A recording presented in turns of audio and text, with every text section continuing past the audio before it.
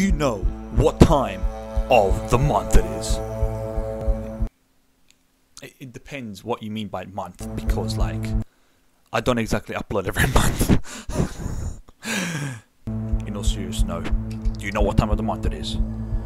It's PC building time. Roll the intro. Click on zombie apocalypse.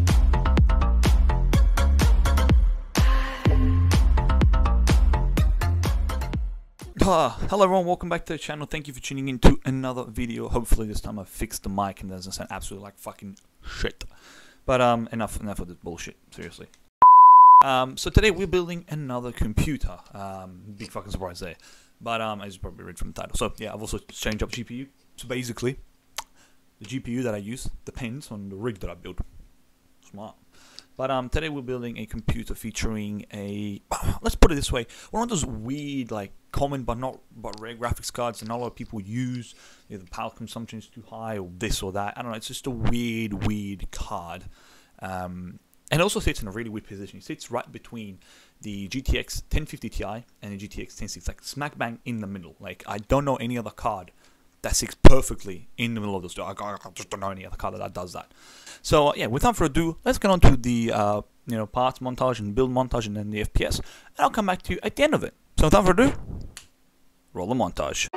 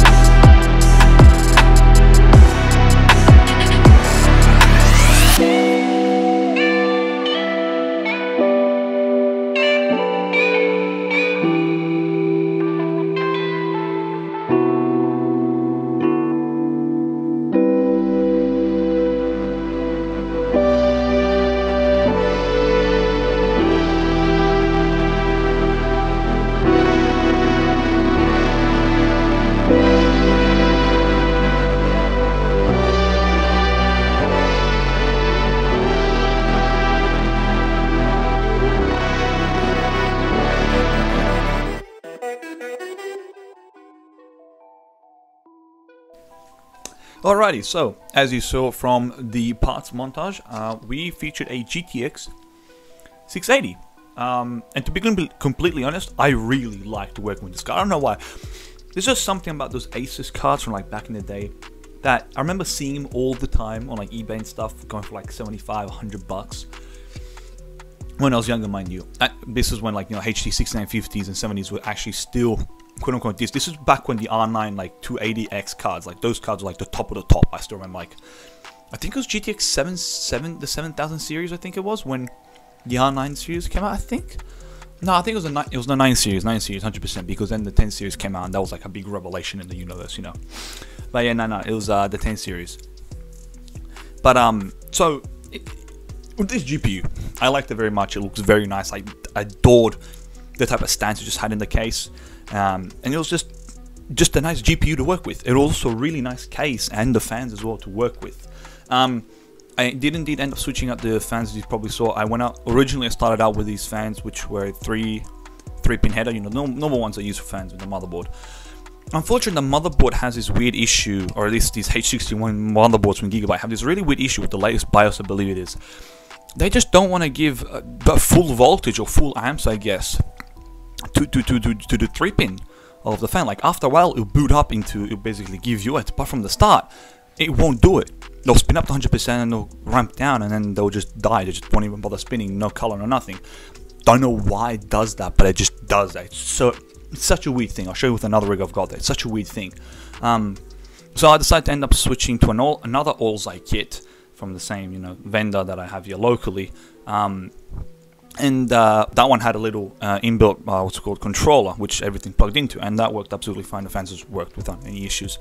And it looked really hella good like the pc genuinely looked so good. That case is such a beauty to work in. It's just so so good. It's just one of these are probably one of the best pcs i've sold. Hands down one of the most beautiful rigs i've ever built in my life. I loved it. Absolutely loved it. And um, ironically, I actually got the GPU right before the whole mining craze started. Now I doubt anyone would really buy a 584, 680 for mining, but um, it was bought right before that when GPUs, you know, went exactly looking fucking spastic. Um, and mind you, it was very good value for FPS. 50 bucks for a GPU like that, that sits between a 1050 Ti and a 10, shut the fuck up, and a 1060, shut up. I'm not complaining at all for 50 bucks. Um, also, the, what's it called, the case was super easy to build in, and uh, it, like I said, it was an absolute beauty to work in. It was absolutely beautiful to work in. Um, so yeah, if you're ever gonna buy the, whatever cases that one is, Uh, shut the fuck up. It's shut the fuck up. It's a very very nice rig, and I 100% recommend. In fact, what I'm probably gonna do with my rig, because I actually have to still build my rig. My rig's not finished. I still have a bunch of hard drives and more components to add into my rig. Um, also, also got the CPU cooler because that one's been retarded. Um, and we're just gonna completely redo my PC. Um, so that's gonna be hella hella interesting to do. Um, so yeah, without further ado, thank you for having watched. I hope you enjoyed this rig. Um, this this video, I genuinely enjoyed building this. This video was one of the funnest videos I've had building a computer. It was generally just I don't know, just a breath of fresh air. I guess. Like I guess I genuinely do case the cases really do make a difference. One of the most important parts in a PC, hands down, is the case. I don't care. It's the case. In fact, if you look at it most of my rigs, the case is the most expensive part of the build. so uh, yeah, nothing to do. Thank you for watching the video. Hope you enjoyed it. I hella did. And uh, I guess I'll see you next week. See ya guys.